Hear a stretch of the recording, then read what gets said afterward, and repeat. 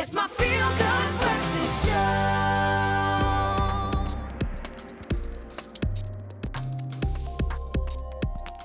Welcome back to this Monday morning. It is your Feel Good Breakfast Show, live, large, and in charge right here on SABC3. Now, the Recording Industry uh, Association of America recently released a report that details how streaming now makes more money than physical CDs, digital downloads, and licensing deals all combined. Now, if you're wondering why streaming has really virtually taken off, uh, we're joined by our tech expert, Brian Smith, who has promised to let us in on how music streaming has been adopted, especially here in South Africa. So, this is quite. Uh, phenomenal news in terms of, especially for artists, young artists coming through and thinking about how music is consumed out there now that streaming is making up such a large portion. But why exactly has streaming taken off? That's a great question. Uh, so it's the adoption of music streaming generally is one a change of music ownership versus access to music. And principally, that's if you think about it, that's actually one of the major reasons why it's taken off. Mm. It's the ease of access. Uh, it can be accessed by any smart device connected to the internet, such as a smartphone, which is on your person nearly 24/7. Yeah. And the interesting thing is that consumers now prefer the idea of access over ownership, over individually purchasing, downloading, and storing their own media. It kind of makes sense. The idea of having this wall just racked up with CDs or vinyls just isn't as appealing as having two million songs ready and available for you to play whenever you want. At your fingertips, right? Uh, yeah. And uh, the major thing is that I think the promise of many MP3 players, if you remember a couple of years ago when they came out, was the idea that you could have up to 2,000 songs at your fingertips. Yeah. Now it's you can have a limitless catalogue at your disposal, and I think that's really the interesting factor. What about from a South African perspective? How has uh, streaming really been adopted here? That's a good question. So, as of the last small to medium enterprise survey results last year, released a very interesting figure in that the music streaming industry in South Africa is expected to grow by 34% up to 2020.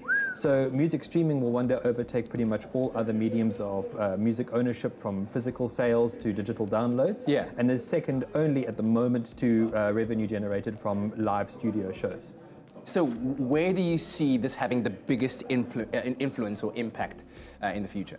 I think in the future, what we can expect to see is the idea, furthermore, of digital ownership expanding itself in different ways. I think principally what we can expect are uh, the music streaming services themselves to release new products catering to different price tiers. So at the moment, for example, what you might have is a free tier, a freemium tier, in which you might have some ads perhaps at, a, at far less frequency than usual, mm. or otherwise you might just have a fully paid service. And I think what we can expect to see are different revenue models built within that, and hopefully one that will rely on less data, is that obviously being a massive barrier to consumer adoption is the high cost of mobile data, particularly in South Africa. Yeah well, an interesting conundrum that that now poses, as I said, to artists, because when you go out there and you're making music, the question now is, do you go for the very attractive licensing deal that's been offered to you by a record label, or do you just go, well, it's a streaming world.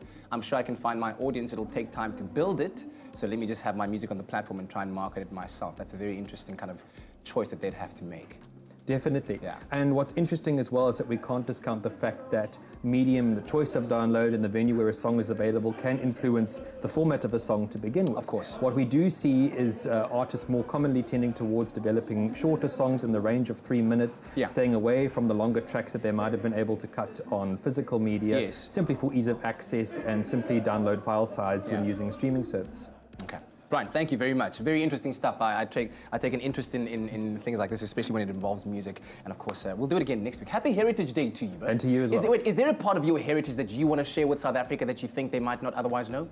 Well, I'm actually from Durban, so we might be recording in sunny Cape Town. So I'll give all everyone from KwaZulu-Natal a big shout out. Shout out to you, man. And of course, we're also hanging out with our friends from Umhlobo Wenene. A little bit later on, we'll carry on with our uh, Ungondo where they're teaching us some of their most yo, expensive Xhosa words that I'm learning how to spell. So stay tuned for that right now. Time for the news headlines.